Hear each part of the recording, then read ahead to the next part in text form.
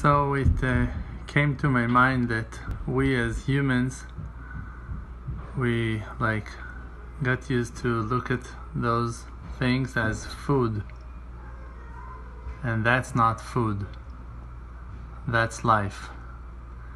And men so many times look at women as source for their pleasure, but women are not source for pleasure.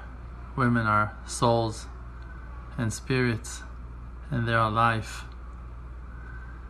And many times, people looking at things in a very wrong and bent and twisted way on money, on houses, on power, on beauty, on all kinds of things that we received from the Creator to enjoy from and to also